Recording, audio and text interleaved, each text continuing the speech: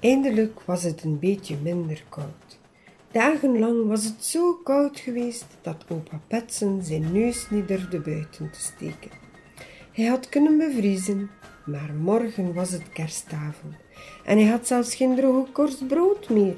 Vandaag was het zijn laatste kans om eten te kopen voor het feest. Er was nog zoveel te doen. Hij wou kerstboom hakken en gemberkoekjes bakken en koken en schoonmaken en de kerstboom versieren. De poes Findus had alvast de voet voor de kerstboom uit de kast gehaald. Hij stak even zijn neus buiten en wachtte op opa Petsen. Petsen, riep hij, kom, we gaan de kerstboom hakken. Een paar weken geleden hadden ze in het bos een mooie boom uitgekozen. Maar het was een eind lopen. Dat doen we later, zei Petsen. We moeten eerst boodschappen doen en ik moet ook nog sneeuw ruimen. Ze gingen naar buiten en maakten een pad van de voordeur en de keukendeur naar het kippenhok. We halen ook dennetakken, zei Petsen. Die leggen we op de trap aan de voordeur. Dan glijden we niet uit. Kom je mee, Findus? Ik wil op de slee, schreeuwde de poes.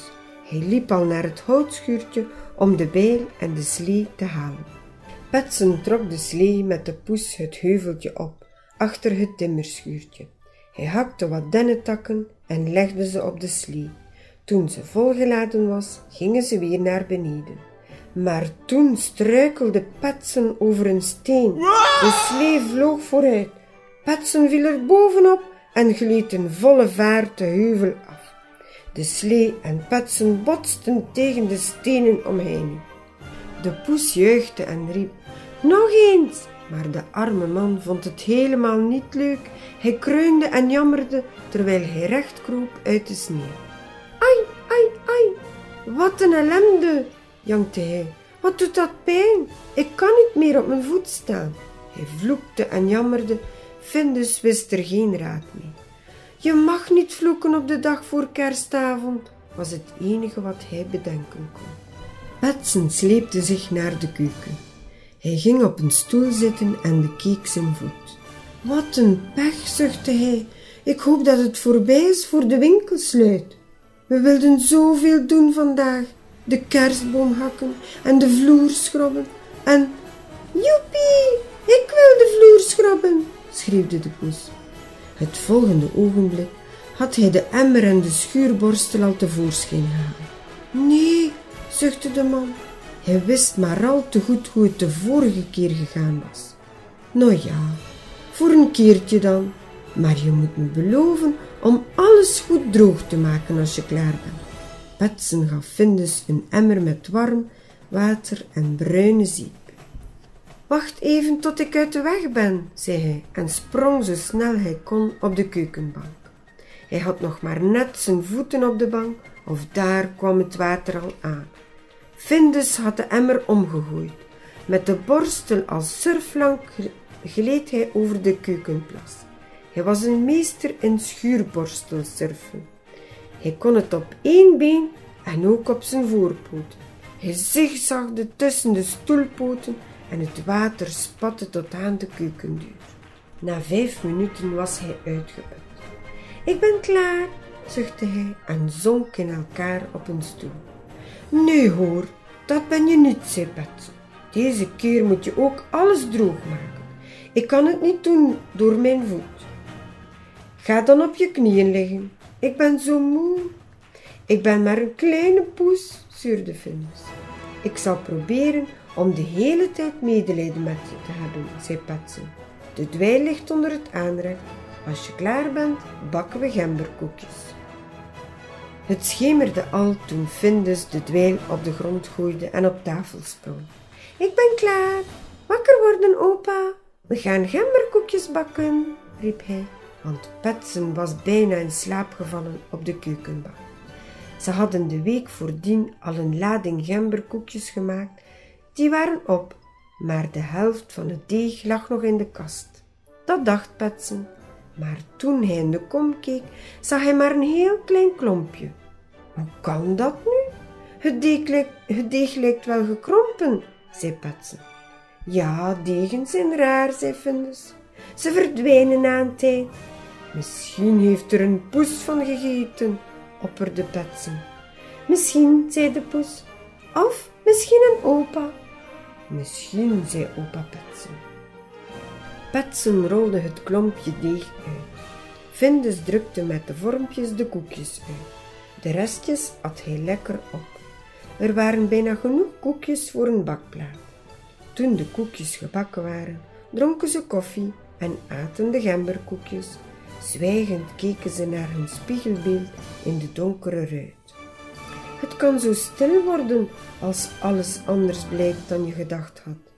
De dag voor kerstavond was altijd zo'n vrolijke dag. Het was fijn om te bakken en te koken en alles te versieren. Nu konden ze hier alleen maar zitten wachten tot Petsens goed kon We kunnen niet naar de winkel vandaag en morgen is hij dicht. We zullen het zonder eten moeten redden, zei Petsens zonder. Wat zeg je? jankte de poes. Geen kersteten, geen rijstepap, geen gekookte ham, geen stokvis, zelfs geen knakworstjes. Nee, maar we zullen er wel iets op vinden. Vandaag kunnen we eieren eten. Er zullen ook nog aardappelen, wortelen en een blikje sardine. Wortelen op kerstavond? Bah, kreunde Findus. Zuur niet, zei Petsen. We komen nog niet om van de honger en je kerstgeschenk, dat heb ik al. Wat krijg ik? vroeg de poes nieuwsgierig. Dat zal je morgen wel zien, zei Petsen. Nu maak ik een groot kerstpakje van deze voet en dan ga ik slapen. Hij deed twee dikke sokken aan. Hij wikkelde er een wollen trui rond en daarna een onderbroek met lange pijpen. Hij knoopte er een touwtje rond om alles goed vast te zetten.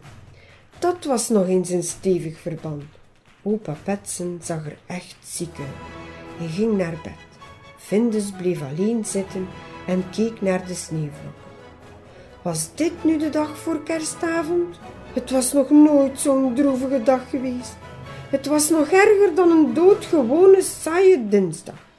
Maar een kerstgeschenk kreeg opa Petsen ook.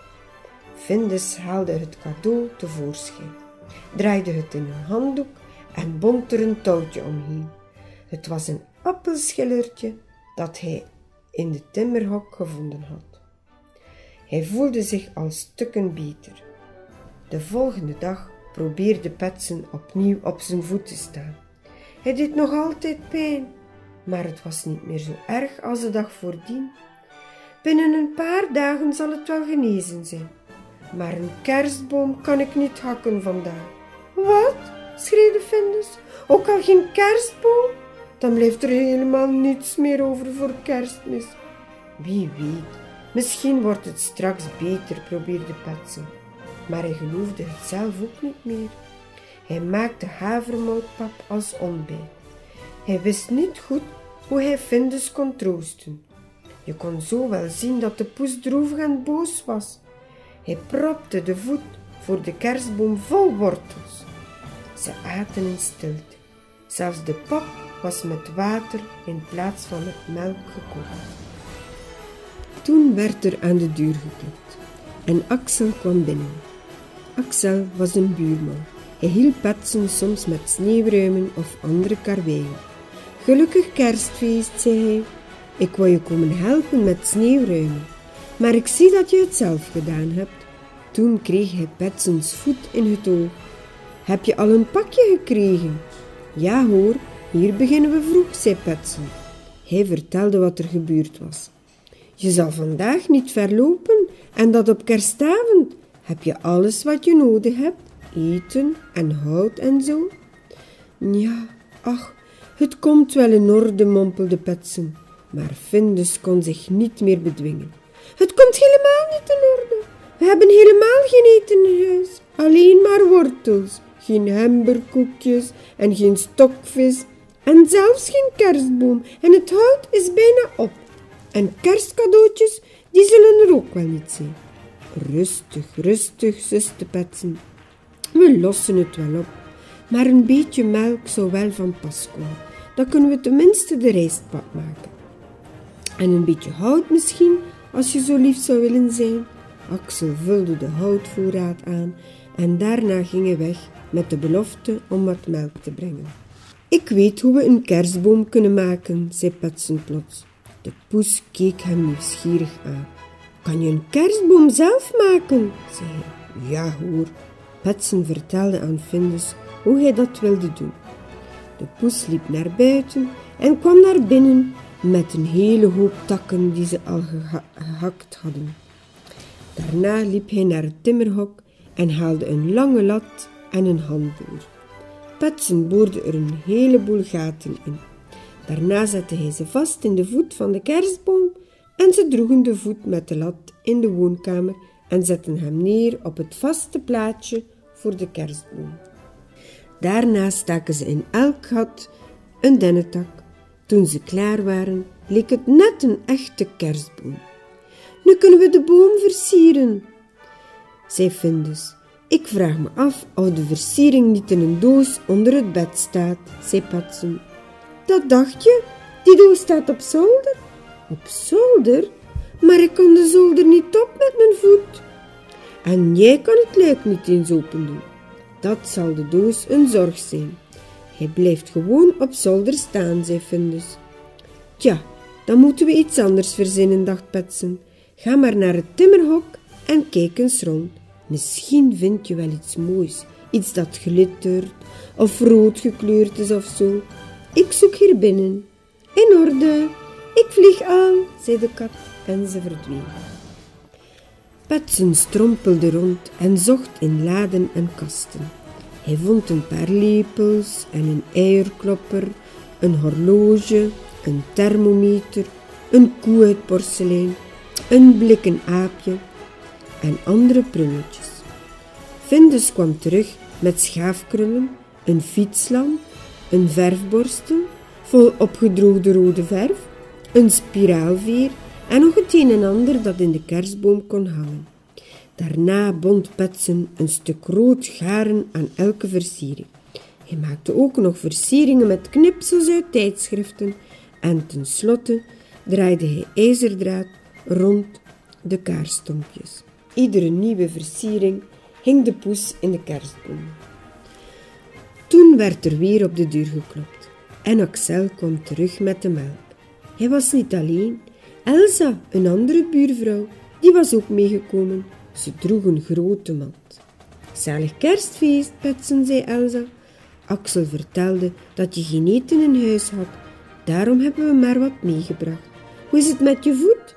Die komt wel weer in orde, maar je hoefde toch geen eten te brengen. Jullie zijn echt zo vriendelijk, zei Petsen.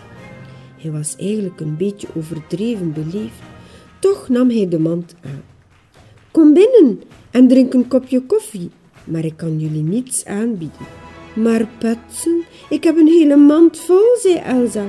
Ze pakte al het eten uit. Maar dat had je toch niet moeten doen? Zoveel, zei Petsen.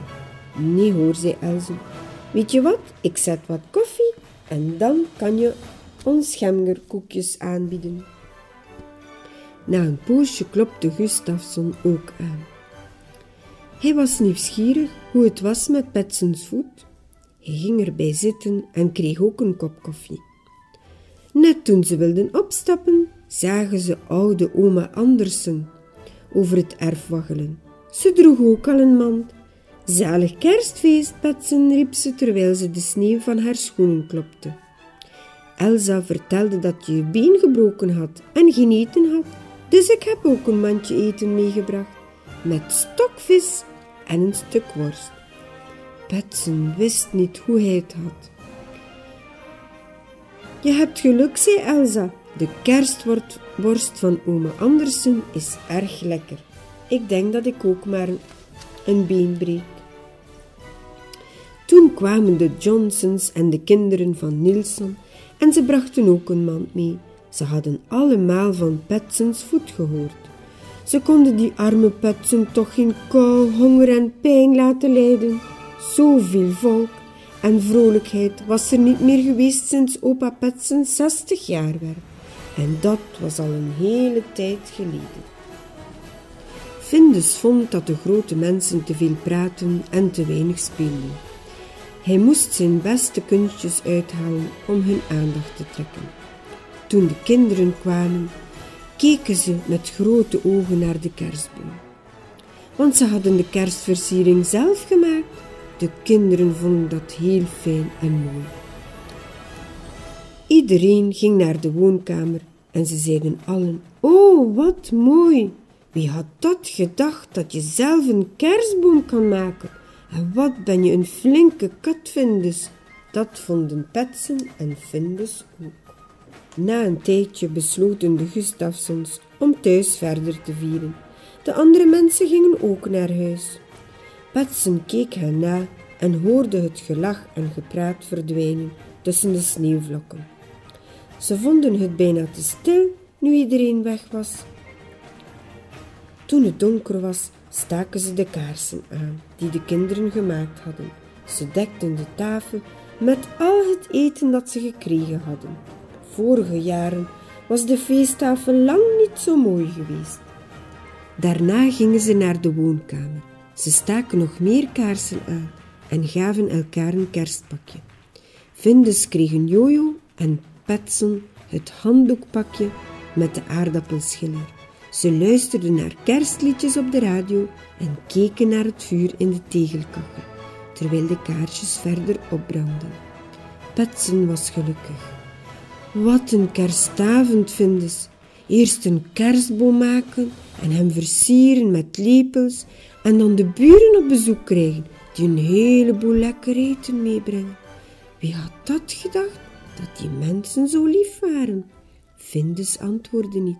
Hij sliep maar hij was ook gelukkig. Hij glimlachte in zijn slaap.